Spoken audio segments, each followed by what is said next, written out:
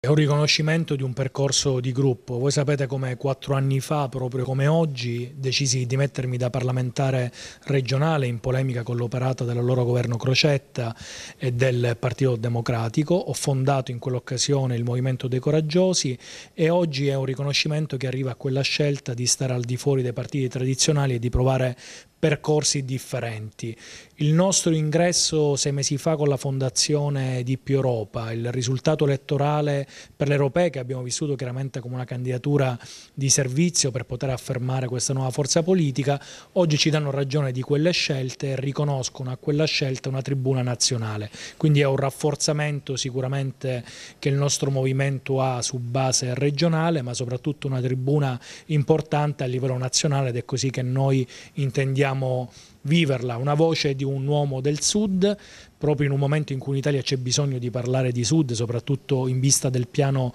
della Lega di autonomia differenziata che vuole un Sud sempre più arretrato e lento, quindi è importante che un partito nazionale abbia una voce di persone del Sud che possano affermare la dignità dei propri territori e poi anche un riconoscimento a chi non si è voluto mai intruppare. Avremmo potuto scegliere percorsi molto più comodi dentro partiti tradizionali che ci hanno lusingato negli anni, abbiamo scelto anche la strada di percorrere il deserto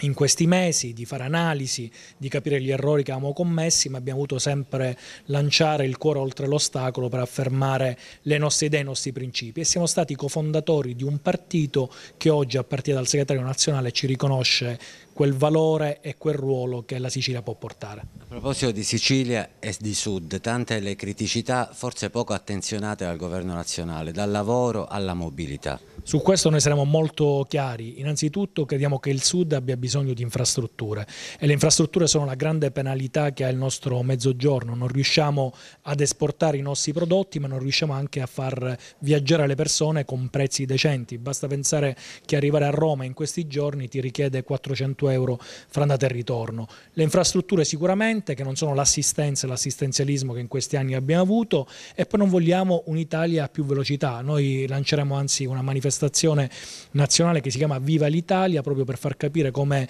il progetto di autonomia differenziata che vorrebbe la Lega vuole spaccare in due il paese.